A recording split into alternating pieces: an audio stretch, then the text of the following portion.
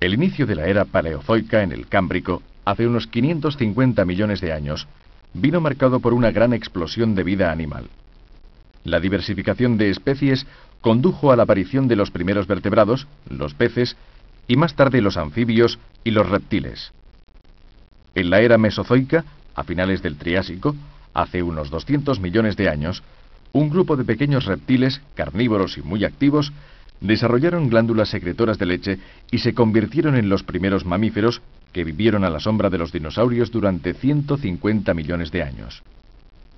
En la era cenozoica, con la extinción de los dinosaurios hace 65 millones de años, los mamíferos se hicieron dominantes.